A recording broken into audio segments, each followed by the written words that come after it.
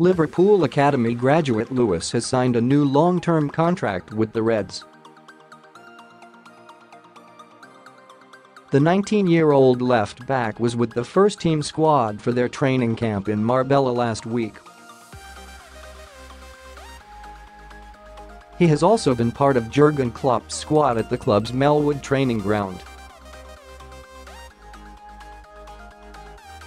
And some Liverpool supporters on Twitter now think that means Alberto Moreno's time is up at the club.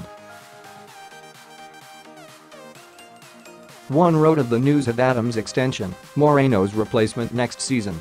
Another is pleased at the prospect of Moreno leaving, writing, excellent news.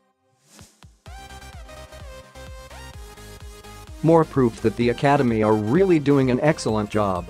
Well done to all concerned. Now we can let Bertie go in the summer, if he wants to go, that was a view echoed by other fans too. Some decent cover for Robertson. Now please let Moreno leave, one tweeted.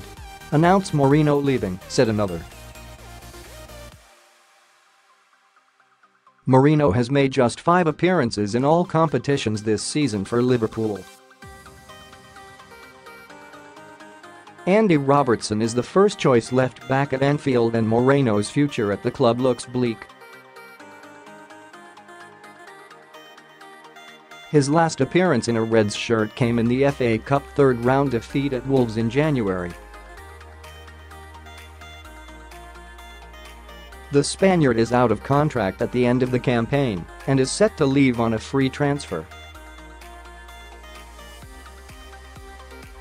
Moreno joined Liverpool from Sevilla in 2014 and has scored three goals in 137 appearances.